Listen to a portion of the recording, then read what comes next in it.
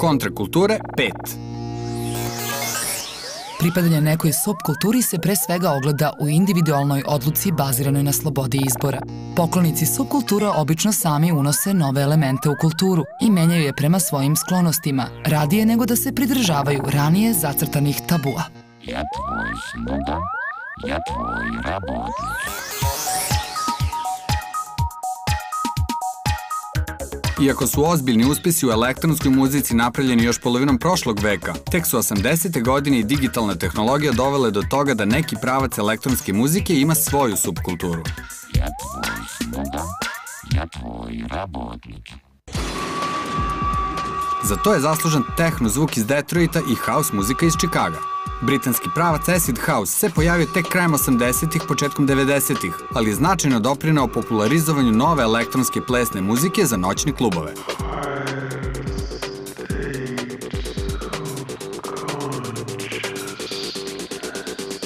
Da bi se opisala novonastala subkultura, uveden je izraz rave. Rave žurke bile su inspirisane u radi sam kulturom i u početku su organizovane po napuštenim skladištima i fabrikama ili još češće u prirodi van velikih gradova. Vreme i lokacije žurki na kojima se slušala nova muzika su često držane u tajnosti do poslednjeg trenutka, jer je britanska vlast ovakve događaje strogo zabranjivala. Zvanični mediji su po naređenju lansirali lažne optužbe protiv rave kontrakulture, koje su se odnosile na navodno nasilje prouzrokovano zloupotrebom sintetičkih droga. Optužbe za masovno korišćenje substanci poput ekstazija, MDMA-a i amfetamina su bile više nego tačne, ali nasilje baš nikad nije bilo prisutno na rave žurkama. Pravi razlog za zabranjivanje žurki je taj što organizatori nisu plaćali porez državi, kao ni reket kriminalcima i policiji za droge, koje su koristile ni manje ni više nego u legalnim noćnim klubovima. Sa prelaskom u mainstream muziku, rave žurke su mahom prerasle u festivale, gde država ponovo dolazi do poreza i gde se besomučno promoviše pivo na koje se plaća porez, iako rejveri najviše vole da piju samo običnu vodu. 90. godine obeležava lansiranje elektronske muzike u mainstream kulturu i pojava mnogih podpravaca i podžanrova, kao što su jungle, drum and bass, trance, elektro, breakbeat, trip hop, progressive house, goa trance, psy-trance i drugi. U rave kulturi je zapaženo prisustvo daleko većeg broja sredovečnih ljudi nego što je to uobičajeno za druge muzičke subkulture. Krajem 20. i početkom 21. veka pojavljuju se nove kontrakulture sačinjene isključivo od fanova jednog benda. Maggots ili Crvi su fanovi benda Slipknot. Slipknot je bazično metalski bend, ali njihova muzika obuhvata razne druge muzičke stilove, ukomponovane u kompleksne aranžmane sa čestim drastičnim prelazima u tempu. Band broji devet članova koji uvek nastupaju odeveni u padobranska odela, obeležena brojevima od 0 do 8 i svaki član ima svoju karakterističnu masku za lice. Srbi su zaluđeni bendom, muzikom, tekstovima pesama i identitetima članova benda od kojih su neki još uvek neotkriveni. Fanovi benda često i sami nose maske, napravljene po ugledu na omiljenog lika iz benda.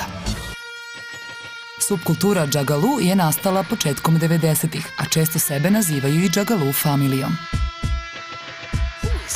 Njihov omiljeni bend je horrorcore rap duo Insane Clown Pose, mada su uopšte odani bendovima izdavačke kuće Psychopathic Records. Filozofija subkulture je sadržana u šest povezanih albuma u kojima je ispropovedana mitologija tamnog karnevala. Uobičajeno je da fanovi farbaju lica u stilu Insane Clown Poza i drugih Psychopathic Records umetnika. Takođe, karakteristična je sklonost i benda i fanova ka jeftinom bezalkoholnom osvežavajućem piću Fajgo. Okupljanje džagalua je običajan godišnji događaj koji se smatra nekom vrstom porodičnog okupljanja. Trekeri ili Trekis su fanovi naučno-fantastičnog filmskog serijala Star Trek, odnosno Zvezdane staze. Zvezdane staze su poznate po tome što je nemoguće pobrojati koliko ima snimljenih filmskih nastavaka, koliko televizijskih serijala, a koliko televizijskih epizoda. Trekeri su zaluđenici koji znaju detalje iz serijala koji su i sami autori zaboravili.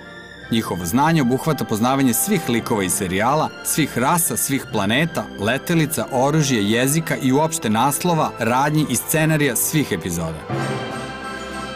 Za trekere se misli da nemaju svoj sobstveni život, te je u jednom periodu bilo vrlo nepopularno pripadati ovoj subkulturi. Njihova fanatičnost je izrodila druge grupe obožavalaca serijala kao što su Ratovi zvezda ili Gospodar prstenova. Kraj 90. godina i početak 2000-ih obeležava pojava novih subkulture, koje nisu toliko vezane za muziku koliko za modu ili društveni status. Takav je, na primjer, modni trend koji je nastao sredinom 90-ih među japanskim devojkama. Ganguro ili gjaru, što u bukvalnom prevodu znači crno lice. Osnovu njihovog izgleda čini ofarbana plava, srebrna ili zlatna kosa i taman ten postignut odlascima u solariju. Tendencija je da se postigne izgled preplanule plavokose devojke sa kalifornijske plaže. Ganguro devojke idu u solarijum tokom cele godine da bi održavale tamno smeđi ten. Napadno se šminkaju koristeći beli karmin, belu senku oko očiju i šljokice ili lažne suze po obrazima. Glavni deo njihovog uličnog kostima su cipele ili sandale sa platformama od minimum 15 cm, što ih čini višim od prosečnih japanaca. Ganguro moda se suprostavlja bazičnim japanskim načelima ženske lepote, po kojima ten treba da bude što je više moguće beo. Međusobno slične subkulture predstavljaju čavsi u Britaniji i lansi u Nemačkoj. Čavsi su opterećeni američkom hip-hop modom, zlatnim nakitom i markiranom odećom koja koristi elemente ulične mode britanske radničke klase. Za čavse se smatra da generalno nemaju poštovanja prema društvu, te da su novopečeni bogataši bez obrazovanja i vaspitanja. Karakteriše ih mišićev, istrenirani izgled i ponosito pokazivanje statusnih simbola u vidu skupih automobila, odeće, mobilnih telefona i tako dalje. Što se tiče Srbije, 90. godine prošlog veka su na ulice izbacile dizelaše i sponzoruše, subkulture karakteristične za ovo podneblje. Kalkın. Dizelaši su ime dobili po robnoj marki Dizel, čiji su proizvodi u to vreme bili neznatno skuplji od konkurenskih i čeznuli su za statusnim simbolima poput luksuznih automobila i zlatnog nakita. Propagirali su pravoslavnu veru, nacionalizam i kriminal. Nisu putovali van svoje zemlje, a uporište su našli u turbo folk muzici.